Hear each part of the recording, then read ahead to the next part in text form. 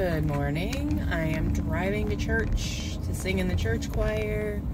Um, it's kind of strange because I'm excited to be in the church choir, but I'm also, I was going to do this with my dad, so, um,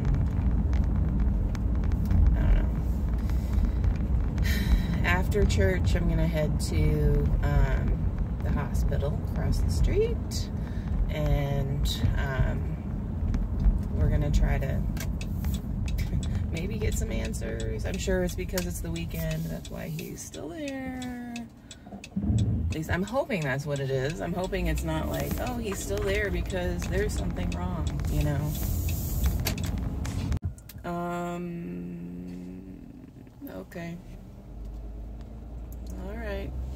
So I came across the street and visited for just a few minutes with everybody, and um, now we're, we're breaking him out. We're breaking him out.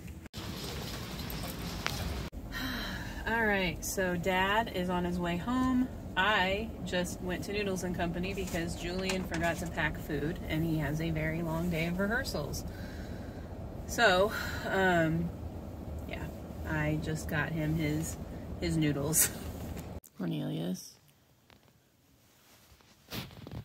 Cornelius. What are you doing, Cornelius? Cornelius. oh, oh, hello. Now he's happy. He's got my hair.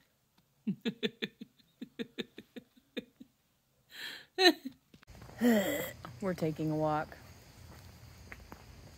It's still daylight. We decided to go now.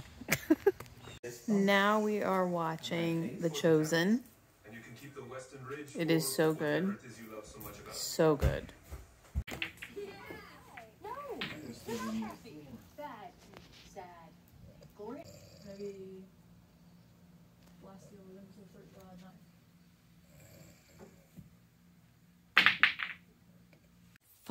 Final clip.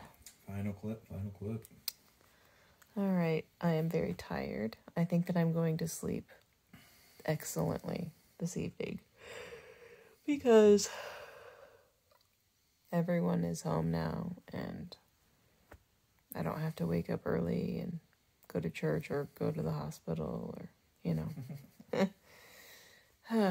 um, and tomorrow, the only thing that we have really planned, um, other than the boys have to mow the grass, is Julian has rehearsal. It is my mom's birthday. Mm-hmm. Whoop whoop. so, yeah, until tomorrow. Hasta mañana.